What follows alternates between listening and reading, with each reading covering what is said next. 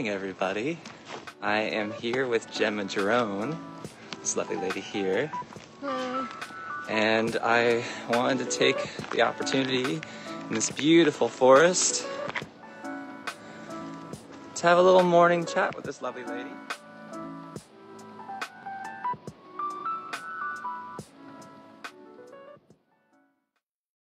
Uh, Good morning, everyone. Um, my name is Gio King Jaladrone, and I'm a refusionist, bridger of worlds and dimensions, nonprofit executive director that is here to usher in a, a new library, a library of conscious co creation.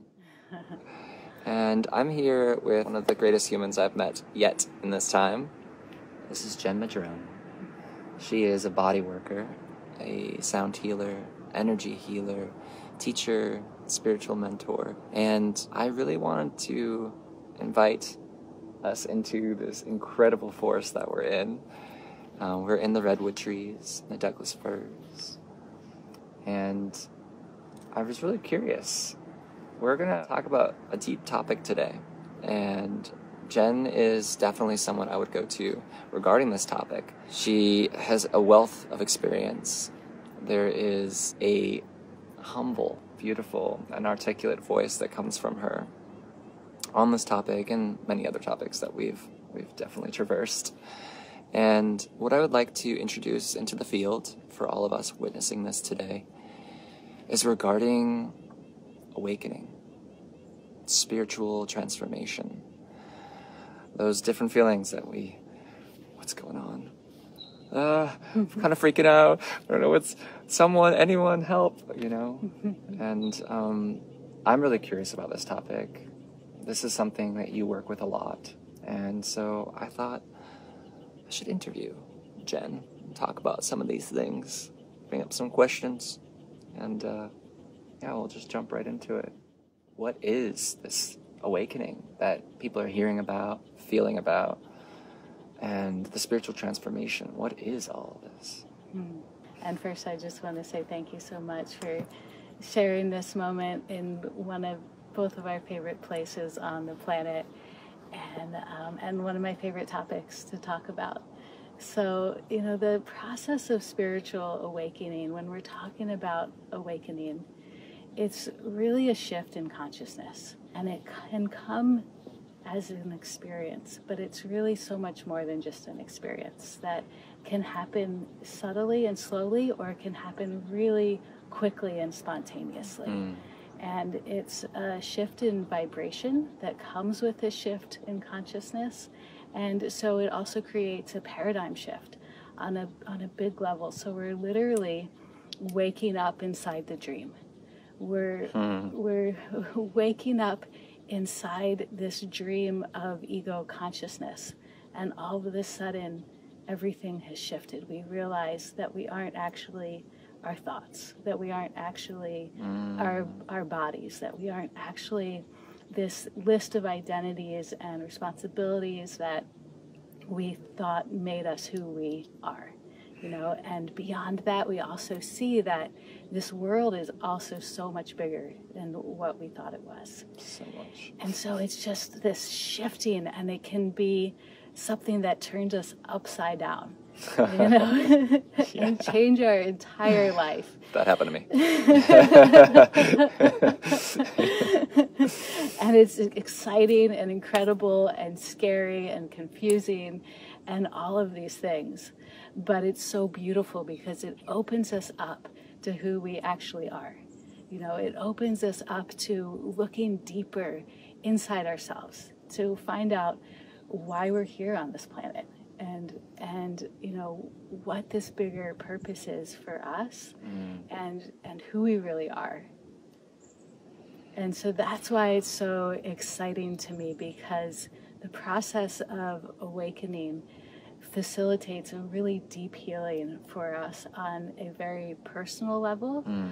But as we see this happening across the planet in a much bigger way, it's also facilitating healing for the entire planet. And so, as each one of us shifts our vibration personally, it's creating a vibrational shift that echoes out and mm. trickles out to the entire planet. Coalescence. Mm-hmm. Mm-hmm. I can imagine, you know, as we as we have that ability to fully dive into ourselves, that echo hopefully will affect other people going that deep. Yeah, and it's not hopefully, it does. Yeah. Resonance. It, it just does. There's no avoiding it because we mm. are all connected. Mm. And as we dive into the truth of who we are, then that is the next step of realizing that the truth of who we are is connected to the truth of, of everybody and everything on this planet. And mm. we see that ripple effect that happens in the energy field and then translates to the physical plane. Well, that kind of like leads me into my next question, which is just like, how is this showing up on the planet? Like, you hear about it. If we if if we are like experiencing this at this exact moment, and then there's so many of us around us, like, what does it look like? What's going on? And what is actually happening? you know, what is actually happening cannot really be put into very clear words. Hmm. as soon as we try to define it, it kind of changes it. And also because the experience is different for every single human on this hmm. planet. But what I've been witnessing and seeing is that this awakening process is happening for more and more and more and more people. Hmm. Whereas, like, you know, 10, eight, 10 years ago, when I really dove into this, there wasn't that much information about it. There was not very many people who had any idea what I was talking about, you know, who who could really. She's crazy. Uh-huh, I got a lot of that. and now there's so much information on it. And we can see it in our culture. We can see how things like yoga and meditation and the different healing practices have really become a lot more widespread and part of the popular culture. And that really, really excites me because it shows that there is a shifting in consciousness happening. And, you know, I, I've been seeing it happen as I do this work um, on such a much bigger level in all different corners of our planet. Yeah i'm i'm feeling more and more it's it's not just this like i'm under a rock and kind of like sheltered in these thoughts but like more and more like i'm walking down the street or i'm in the grocery store or i'm sitting at a cafe and like people are having that conversation of like i'm not the only one anymore Right, it's amazing, right? Yeah. It's amazing and it's so beautiful and it's people that you wouldn't expect. You know, it kind of blows any judgments that we have out of the water because it is really happening on a widespread level. what's a physical example of some of these transformations that we're witnessing? Does it have to do with the physicality of the environment? Is it solely from like an inner vibrational shift that then is echoing into everybody else because it really is a very personal process and it shows up different for everybody. And so the awakening process can be catalyzed and ignited by a lot of different things.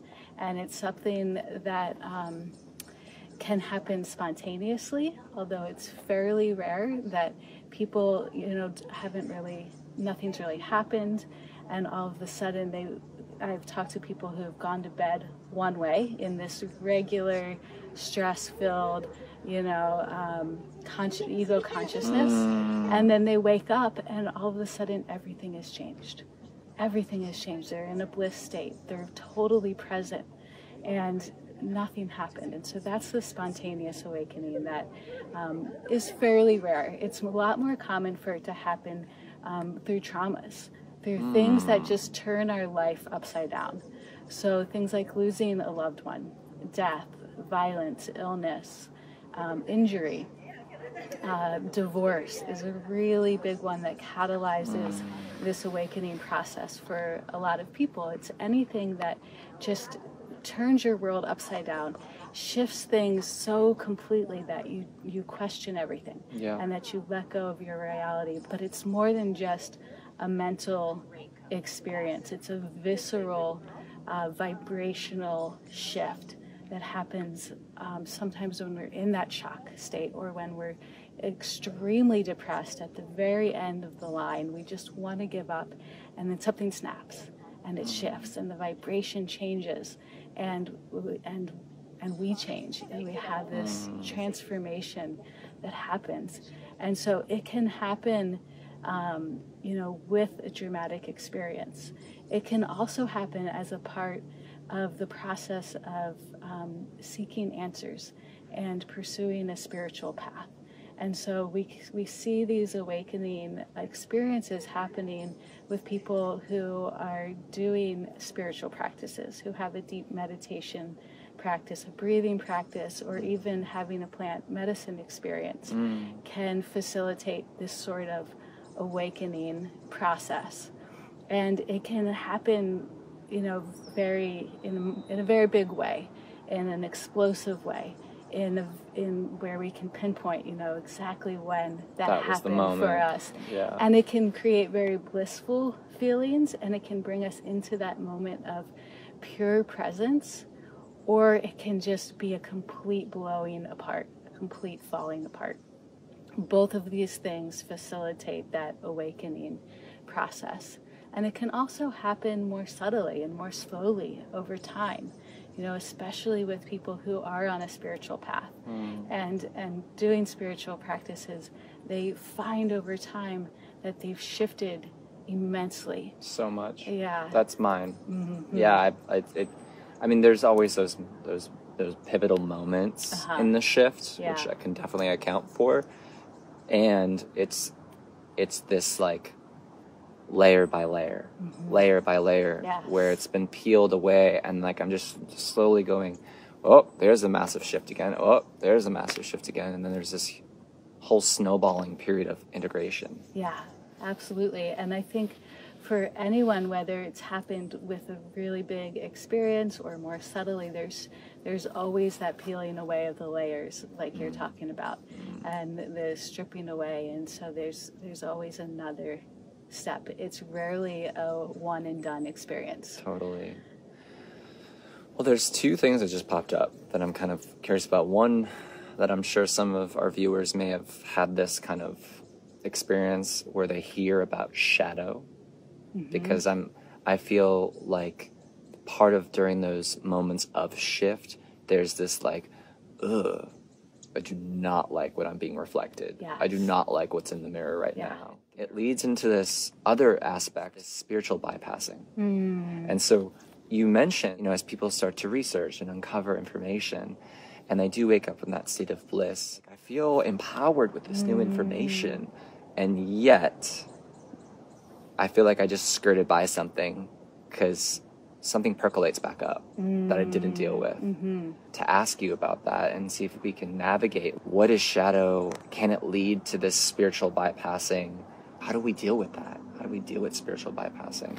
That's a great question. It's it's so good because first you hit on um, what happens in the process, this shadow side that comes to light, where we get uncomfortable, where we see things that we don't want to see or experience or deal with, and you know that that is part of the vibrational shift that happens because as our vibration raises through these experiences, anything that's not a match for that higher vibration is going to come to the surface to be cleared. It can't exist in the same realm. And so, all of those old traumas, all of those pieces of ourselves that we've shoved down and buried down under the surface, you know, the old limiting beliefs, um, the old programming, uh, all of the difficult pieces of our life, they're going to start coming to the surface. Mm. And it can be deeply uncomfortable, but it is an essential part of the process. But it can be so difficult to understand because if we've had this awakening experience where we've had this deep connection with how we now see see that we can be because that's what an awakening experience often does it shows mm. us it gives us this experience of how we can be and then it says okay if you want to live this kind of life, if you want to experience this on an everyday level, now are you ready to do the work? Mm. And so the work is clearing out all of those things that come to the surface that we call shadow, that keeps us from being deeply connected with with source, with ourself, with our bliss, with the divine. Mm. And so that is the purpose when these things come to the surface when we feel uncomfortable we need to know that we're right on track. That we're exactly where we should be. Dang it. and it's way more fun to pursue these new interests that we have. And they are pivotal and they can be amazing tools for us and amazing tools in our transformation. But we have to remember that they're just tools and that our ego can use them to kind of pull us away from that self work that is going to keep draining that power from the ego. And so sometimes we get into the um, world of bypassing because it's just too painful to deal with those things that have come to the surface and we just don't want to look at them. We'd much rather be feeling um, inspired mm. and and empowered and strong. And no they, one wants to feel bad. Exactly. Yeah. But they can go hand in hand. We just can't use them to avoid the deep inner work. Mm. Because if we want to use these new tools, it's just essential that we don't get distracted because it's the inner work, it's the peeling away and facing the shadow and facing the fears that is going to allow us to sustain that connection with mm. ourselves sustain that connection with the divine, and then create whatever it is from that place of beauty and authenticity. We get thrown off. We just don't want to deal with that heavy stuff and with the pain for a minute. And then we find our way back. Yeah. You know, because there is, you know, in people who, when we experience these things, it creates this deep desire in us to know truth and so when we get thrown off, we come back mm. and we work on it again. Mm-hmm. I, I, I want to reference for you and, and viewers just there's this moment of being on the other side of that shadow and the other side of that pain mm. and then seeing it in someone else mm. and and recognizing that when they're coming to you and they're like I, I know you get this so like you know, what's going on? And the first thing that I always like to remind them to do is just like, you feel bad right now. Like, yeah, like, I want you to sit with it. Mm-hmm. Just breathe with it. Yeah. Like, absolutely. don't push it away. Don't try to figure it out. Just feel it. Yeah. And like, you know, nine times out of ten, they're like, no, this is hard. right. And it's like, that's, I think, the point. Exactly. Because we've been running away from it for our whole lives. You know, that's why we create the attachments. That's why the ego is there because it thinks it's protecting us from the pain. We have 40 hours a week to work and we got to get up to work in our jobs yeah. and, and, and pay taxes. Exactly. So exactly. I, I got to keep going. Yeah. So we're trained to run away from it our entire lives. And so we have to retrain ourselves to sit with the pain, to be present, to walk through it, and to transform it, and to know that we have the power to do it instead of giving our power away. What is a way that we can honor our process when a shadow does pop up? Where's the languaging we can use to inform people when we're going through that process? Mm. We want to respect ourselves, first of all, and our process. And so it's learning to listen to the intuition and knowing when we should share and when we shouldn't. Mm. You hmm. know, we don't need to share our process with everyone and when someone doesn't understand like that's okay you know that's that's really okay because it's a very deeply personal process mm. however also we also have to remember that we may share with someone and they have no idea what we're talking about but we just planted a seed and so down mm. the road if they start having these experiences and things start shifting in them then they have something to refer back to Beautiful. and and so um, being open to the moment and continually connecting with ourselves, knowing there's no wrong way to do it, but also respecting mm. respecting our process in a, in a really big way. And it kind of opens up something I wanted to talk about is the different challenges that come up for people, and that's definitely a big challenge yeah. for people is communicating with the people that they love when they're going through this vibrational shift, when their world just turned completely upside down, and all of a sudden you feel like you can't really connect and communicate with the people that you've been close to mm, because they don't really understand what's happening. It can really create a deep loneliness in us because we don't feel like anyone really understands what's happening. And it can create a lot of confusion as well when things turn upside down and we don't have a reference for it. And we don't really understand what's happening. And um, there's other ways that it can show up. So it really, um, not just mentally, but emotionally, like we talked about with the shadow stuff coming to the surface, and also physically, um, is something that not everyone is aware of. That this transformation process, this vibrational shift, is shifting and changing us on every level. And so physically, it can show up as strange illnesses that are not explainable, that they haven't been able to get a diagnosis for. You go mm-hmm. to the mm-hmm. doctor and they're like, there's nothing wrong with you. Mm. But you're having digestive issues, or you're having migraines, or you're just having weird pain moving around your body that wasn't there two days ago, that comes out of nowhere.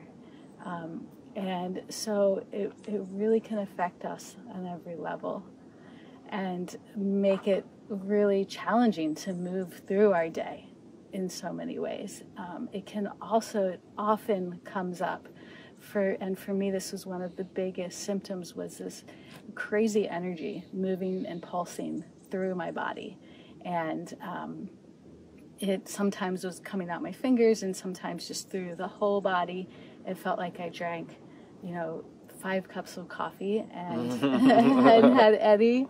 It was that totally uh, wired but tired feeling and um, produced altered states of consciousness.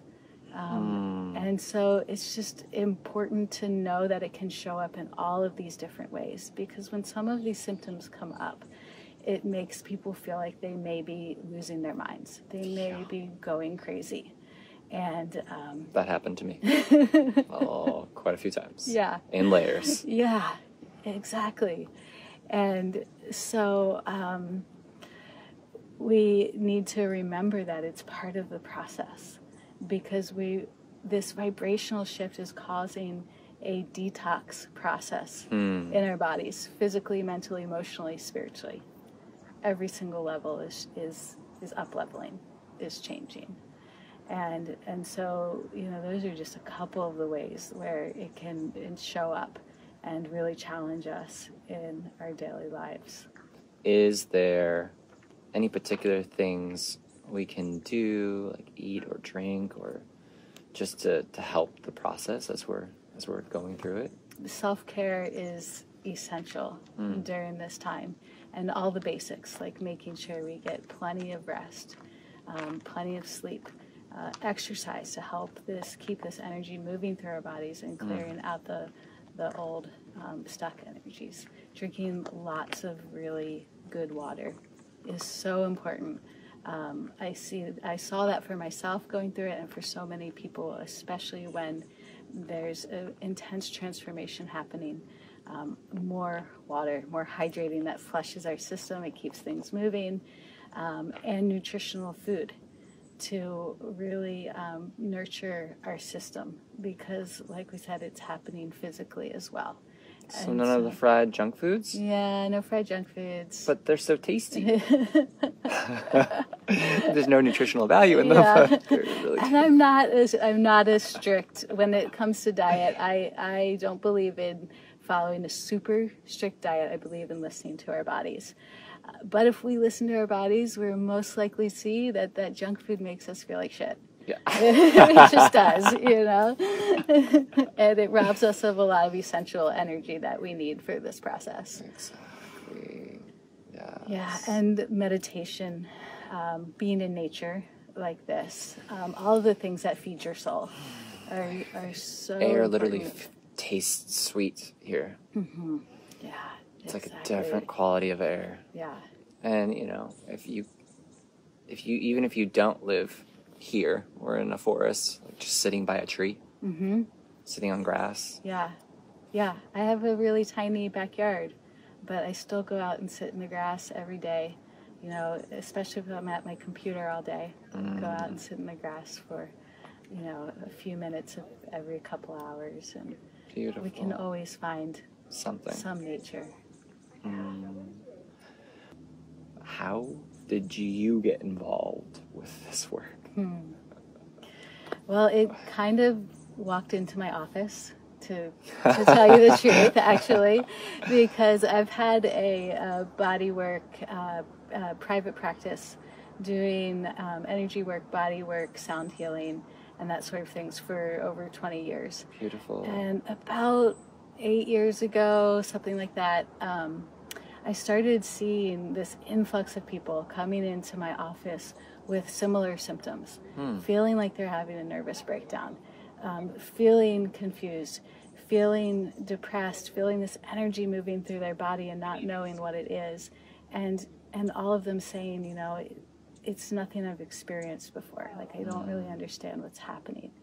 And when this started coming, all of these people started coming and sharing this with me, I immediately recognized it as what I had experienced myself just a couple years prior when I was really moving through the intense part of my transformational process.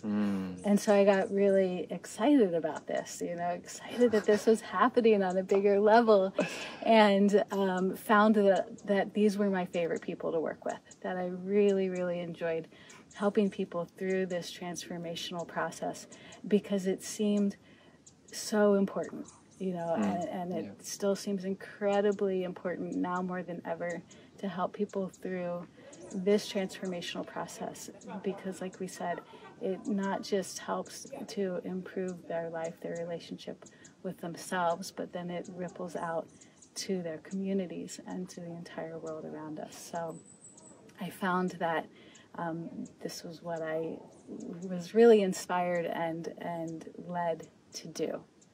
Fulfilling. Yeah, extremely fulfilling. And you know these things that you can't always explain why you're handed the path that you're handed, but this is where I find myself. Listening. hmm Just listening. Yeah. Mm. Wow. Okay. Yeah, I, I feel like that's a part of my practice right now is is to stop pushing on the universe to give me what I want and I've been more in the state of accepting and receiving what I'm blissful about. But that just keeps arriving. I have to do this and I have to do that and I have to do this and I have to do that. I got a plan and I need a 401k plan and I need a retirement and there's insurance to plan for the thing that might not happen. But Uh-huh. and and at the same token now i'm like as i as i do more of that work and i show up i find myself in that position of just going like what am i going to do today and all of a sudden like a phone call hits or an email comes through and like would you accept this project to work on it's like oh yeah Yeah. that's amazing that's exactly what i want to do Yeah, because you're in the flow state, because you did the work of removing those shadow aspects that were blocking you from that. And so it's so beautiful when we are able to see that happen because that's really our natural state. You know, that's how it's supposed to be. mm, just like walking Yeah, Just exactly. flow It's into like state. breathing, just like walking. Well, it's nice to hear that reflection that it um, feels and sounds as though I'm in this flow state. It definitely feels like that, and I've done a lot of work, like a lot of it, um, and I'm, it's not done. It's never done. It's never done. Yeah, it's never done. But when we really peel away those big layers and get the big chunks done, it becomes so much easier, and, and the transformation becomes more graceful. Mm. You know, once we've really faced our There's fears and walked overcarrying. through the fire, Well, I don't know and then we just work on the, the subtle, I more subtle undercarrying, details. honey, undercarrying might. I, of course, want um, everybody in the world to experience the flow state um, and to get to that. And of course, I also don't want anyone to spiritually bypass. Going like, well, I'm already there. I, you know, I read it in a book. And it's like, well, did you feel that way? Or that that hill and valley comes, hmm. you get hit with it, and you're like destabilized on Earth, and you realize, oh, that's that work. Mm-hmm. That's a wave. Okay, Right. that needs to be looked at. Because it will keep coming back. Yeah, and better to get it done the first time around rather than like the seventh or eighth or Yeah, ninth. and most of us are hard headed, so it takes three or four at least, True. often. and and so, in wanting and in feeling inspired and and hopeful for the rest of humanity to experience this, um, I I'm curious, like how can more and more people find out about this what can we do? Are is there any offerings that you have for people? Where can they find you? Hmm. What can we do? Because I know there's people urging like, okay, I want to get started. It's like, okay, well, where do we start? Yeah, that's a really great question, too. So, starting always starts within ourselves. Mm. And then we often get to a point where we need help, you know. And I know for me in my process, it was essential and it was a pivotal moment when I found the right people that could help move me through the process gracefully, help hold space for me while I heal. And so that's why I do the work that I do and because I'm honored to be that person who can hold that space and help guide people through that process of transformation. Mm. And so I do that on a, in a couple different ways. You know, it started locally with uh, my offerings here, and and I've been expanding it um, via the internet because I've found that there's a lot of different pockets in this country where there aren't as many resources. And so um, I offer uh, different ways for people to work with me online, and some of it is through one on one work um, when there's uh, very personal issues and specific things that need to be worked through. But the main way that I work with people who are going through this transformational process is in small groups. Oh, great. And so that way we can hear each other's stories and we can support each other and um, we can meet people who are going through this as well so that we don't feel like we're alone. And we're not the only ones. we're not the only ones. It- yeah, and finding that more and more and more that there's so many people going through this. And so just by connecting, we are empowering ourselves. But more than that, um, when I'm guiding small groups of people through this process, we're learning the tools that we need to face these fears and to heal the past traumas. And we're changing the old programs that have kept us stuck mm. and rewriting those programs and really looking at the limiting beliefs that have caused suffering in our life over all this time and essentially peeling away the layers of illusion that our ego mm. is built on and the layers of attachment. And as we peel all of these things away the illusions, the attachments, the fears, the traumas all of those things, then we're able to connect really deeply with ourselves. Hmm. And so this is the work that we do in our group. And, you know, we can be that reflection for each other. And in that kind of safe space, we're able to walk through these fears. And, you know, and then having someone else who may be able to see something that we can't see at that moment is extremely helpful. And we are people that join um, these groups. We're we're able to connect with each other as well. Yeah, exactly. Awesome. So, yeah, the, the small group that I'm talking about is a program that was designed for these exact purposes. Ah, okay. Yeah, and so people can um, join that program, and it's a we cover a lot of information in eight weeks, and so we do a lot of really deep work, and so it's for people who are really committed to this transformational process and committed to their growth and may not really know where to start or just need some guidance and some tools and some understanding mm. of what's happening. And so it really creates that spiritual foundation that they can take with them as they continue to evolve and grow and, and transform. Beautiful. Yeah, that's the eight week program that I offer. And um, people can contact me for more information about that. I also have a Facebook group that I've started, and it's a free group that anyone can join. Although it's a um, it's a private group to just you know create a safe space for everybody. So you have to request to join. Okay. Um, and that group is called Diving Through Death, a egoic death on the road to awakening. And so we'll leave that that title at the end as well, so that you guys can find it. Brilliant. Oh, Jen, thank you so much. Yeah, thank you, Just- Gio. Yeah, just for walking through that and letting us experience that. And I'm sure many of us have more questions, and that's what the Facebook group could be for. Yeah. So And feel free to reach out to me with any questions, a private message on Facebook, and I'll leave my email and all of that stuff so you can find me. fantastic. Yeah. Thank you, Gio. Really enjoyed talking with you today. Likewise. Yeah. And thank you, forest. Yeah. Thank you, Tree Spirits, for having us. It's just a beautiful day. And um, just a friendly reminder for all of you out there if you haven't already today, go find some grass or a tree and breathe in that oxygen that they're providing for us for free. Exactly. Get outside.